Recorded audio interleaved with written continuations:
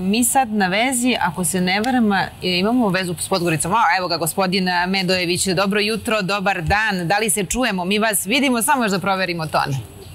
Evo samo sekundi. Pozdrav svima u studiju i vašim gledalcima. Nebojša, se osjećaš uh, slobodnije sad kad je došla nova vlast, evo, priželjkivo si toliko pad Mila Đukanovića, sad koliko vidim tebi je i žao što ga nema na javnoj sceni. Dobro, meni je poznato e,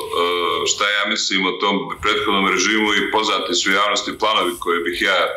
napravio da sam bio u poziciji da sprovedem te svoje ideje nakon pobjede e, demokratskog fronta protiv tog režima 2020. godine, ali jednostavno nije mi bilo omoguće da je Ređukanović umeđu napravio taj dogovor sa nekim segmentima nove po znacima navoda političke elite, od kojih ti mnoge znaš,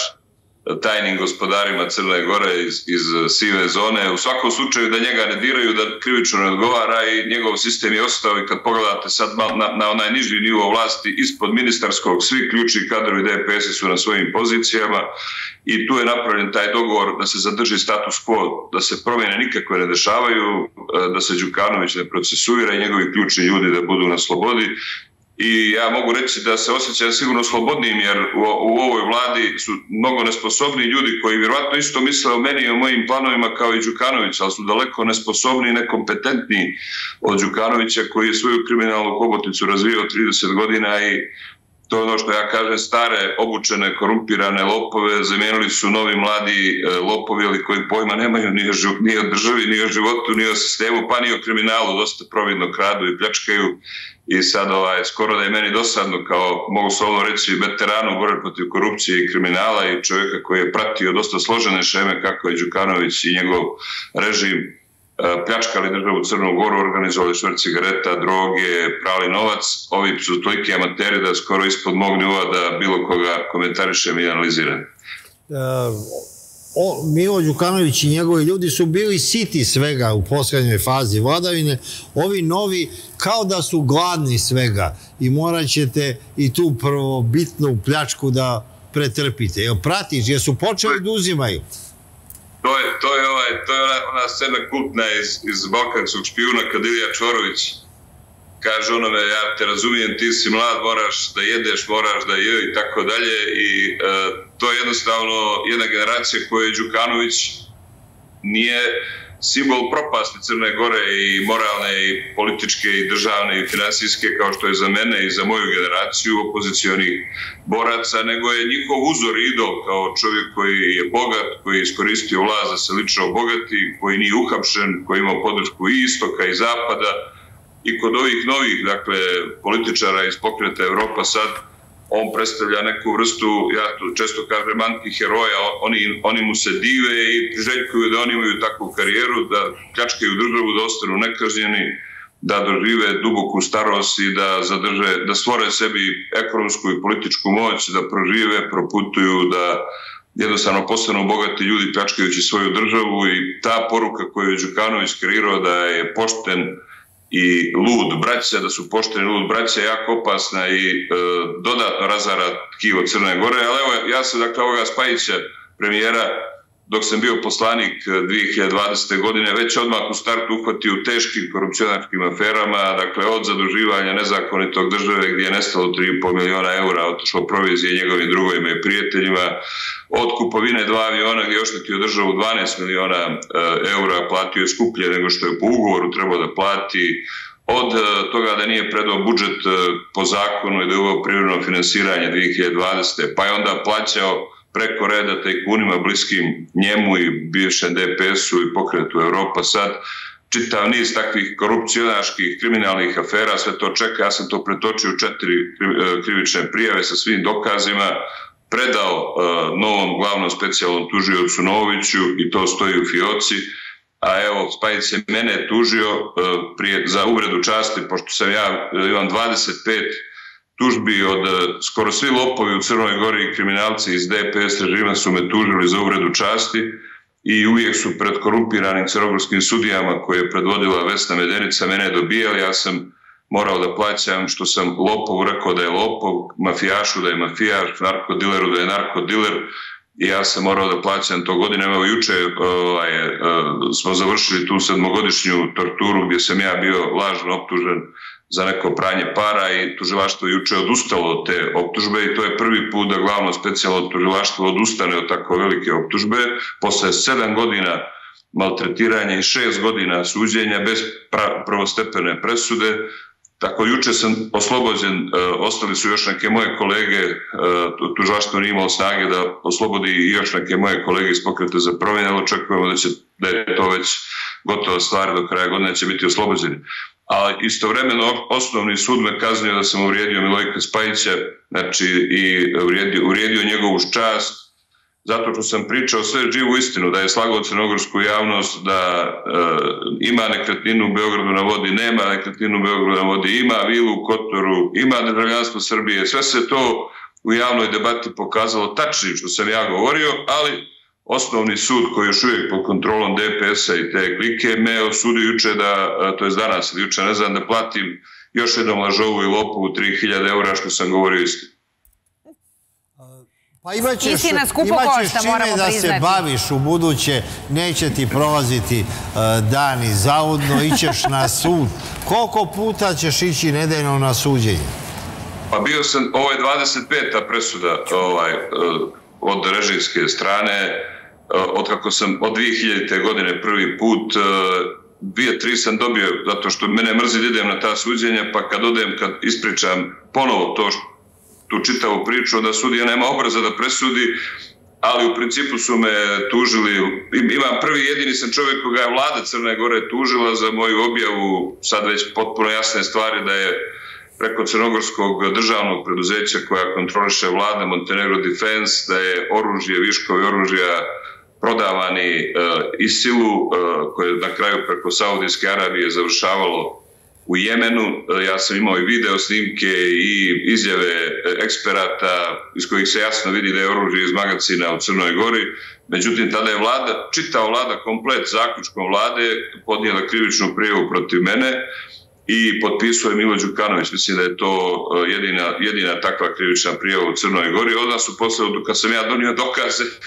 koji su mogli da im ugroze odnose sa sjedinim američkim državama ili već sa nekim segmentima Evropske unije odustali od te optužbe, tako da sam ja apsolutno navikao na to, to je, nema, da kažem, ozbiljnije glopova i kriminalca u Crnoj Gori koji me do sad nije tužio za uvredu čast, tako da izgleda da smo došli ona vremena u kojima je pisao Dali Dostojevski da će doći vrijeme da pametan čovjek e, više ne smije ništa da kaže jer će ga e, budale tužiti za e, uvredu čast. Evo, ti si jedini čovjek u Crnoj Gori koji ima e, sudsku presudu da je pošten čovjek e, i to u Crnoj Gori izaziva više posmeh nego divljenje. Tako je, da. E, ovaj, ja sam rekao da tolike krivične prije koje sam ja podnosio, koje su se posle pokazale sve tačnim ili moje analize i govori u parlamentu vezano za kriminalizaciju države i za mnoge, mnoge korumpirane štetne poslove. Recimo, ja sam otkrio tu šemu pranja novca u aferi Klap i Vardar, gdje sam radio skoro pola godine sa svojim izvorom i došao do dokumentacije, do kompletnog mehanizma koji je bi vrlo komplikovan. Sve to objavio, predao tužilaštu i na kraju ovaj, oni su pohapsili neke ljude za dva, tri mjeseca su ih pustili. Radi se recimo o pranju para koje dostiže nekoliko stotina miliona eura samo u lažnim fakturama kojima sam ja objavio. I takvih slučajeva imate u mojoj karijeri koliko god hoćete još od privatizacije instituta Siva Milošević kad je Panić pokušao da a, sakrije neki profit i da prevari a, komisiju za hartije od vrijednosti u Americi, to je radio u dogovoru sa Milom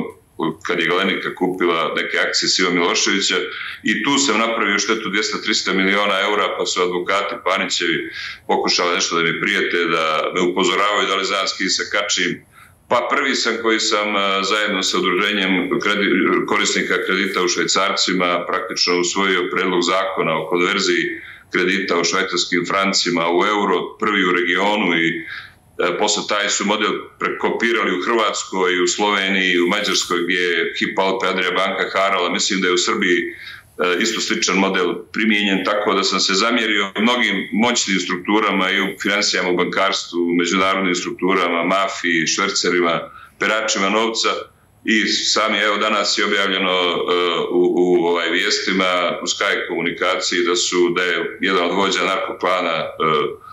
Zvicer sa ovim šefom policijske mafije Petrom Lazovićem dogovarao da e, bi bilo dobro da nakon pobjede opozicije 2020. jedan poslanik nestane i ispostavilo se normalno da je Zvicer odmah, da sam u Zviceru prvi ja pao na pamet i rekao najbolje Medović da nestane, on mnogo laje, pa je najbolje on da nestane. I naravno e, 2008. je bila isto već jedna plaćena organizovana grupa ljudi koja je trebala da izvrši atentat na mene, ali međunarodne, međunarodne bezbjednostne strukture su na vrijeme reagovale i ti ljudi su pohapšeni na kraju pušteni jer su lažno optuženi da su htjeli da ubiju nekog drugoga, ne mene. Bilo su više politički za njih opasno da se prizna da e, državna narkomafija želi da ubije jednog od lidera opozicije zato što e, otvoreno priča o e, samim početcima toga posla, to je bilo 2008. godine. Tako da, kad sve sabiramo, mogu samo reći, Bogu, recimo, Duvanska afera vezana za nacional, e, vjerovatno ljudi ne znaju, ali tu aferu sa jednim uglednim britanskim ambasadorom koji je tada bio oštro protiv šverca cigareta, bio je u Beogradu, gospodinom Crawfordom, radili smo ja i pokojni Duško Jovanović i pokojni Ivo Pukanić. Dakle, praktično ja sam jedini živi iz te e, ekipe ljudi koji su držali tu aferu mjesecima u, u žiži javnosti, jer je trebao neko ko poznaje duvanski biznis, ko poznaje tu industriju, a ja sam tu bio već dovoljno iskusan, ja sam šest godina bio konsultant duvanskog kombinata u Podgorici za strana ulaganja i privatizaciju, tako da sumira, samo zahvaljujući Bogu, ja mislim i nekoj ludoj sreći, ja danas pričam sa tobom i ja sam još u životu i E, možda i bolje da nisam ušao u vladu i da su me ovako eliminisali, jer e, sigurno svi znaju da bi ja svoje planove realizovao, svoje kontakte sa zapadnim strukturama aktivirao i da bi to praktično e, dovelo Crnu Goru pred izbor da li želimo da opstane Crna Gora, da bude demokratska, slobodna i očišćena od mafije ili da nastavi ovako da se da baulja po kanalima, katakombama tranzicije, da se vrti u kružnom toku tranzicije i da praktično bude zemlja pod vladavinom mafije. Je ti ponekad žao što im se nisi pridružio, pošto izgleda da si ti jedini čovjek koji nije bio na vlasti ili sad nije na vlasti u Crnoj Gori. Jer ti pa, nude nešto da im se pridruži. Pokojni, pokoj, pokojni Zoran Điljić koji sam ja imao jako dobru saradnju na jednom velikom skupu koji su organizovali socijaldemokrate Njemačke e, 98. Godine u Willy Brandt House u Berlinu. E, upravo tada mi je, koji je bio jako dobrim odnosima s Milan Đukanovićem tada i on je meni tada predlagao da se on e,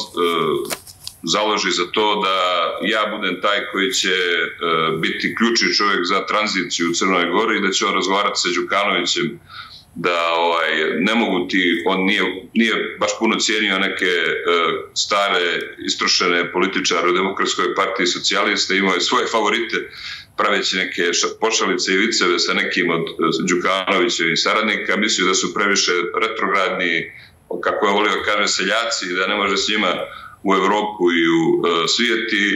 Ja sam rekao da je to uzaludan posao jer uh, ja imam svoj put, dakle to je put demokratske tranzicije Crne Gore iz uh, jednog totalitarnog poredka u, u jednu demokratsku državu, pravnu državu, ekonomsku državu. I na tom putu ste kako stvari stoje i ostali, ali kao što vidite plaćate visoku cenu, a čućemo se u narednom periodu da vidimo to je sve, to je sve, pazite, to je koliko istina košta. Teško je biti poštenan skupo. Košta, istina je skup oružje, ali je ubitačno. I to je tačno. Hvala vam najlepše. Daćemo nešto jeftinije. Hvala vam najlepše, Mariću, zapamtite to. Teško je biti iskren, ali skupo. Tako da, shodno tome, pošten. E, dobro. Istina, da, dobro. Sve jedno, ovo o iskrenju, o iskrenju, o poštenju i iskrenosti nastavak sutra u isto vreme na isto mjestu.